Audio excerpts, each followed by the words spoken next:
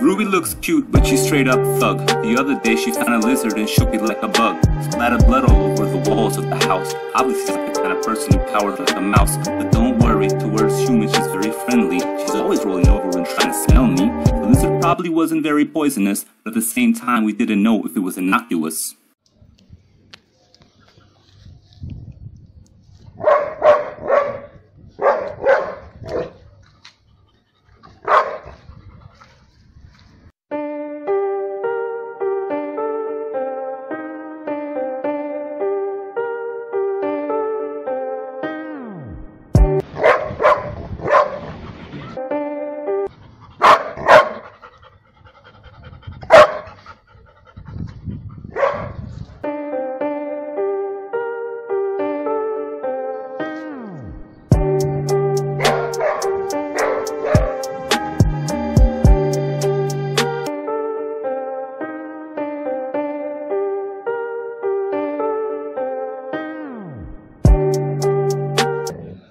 Hey, hey, Ruby, Ruby, Ruby, stop it, stop it,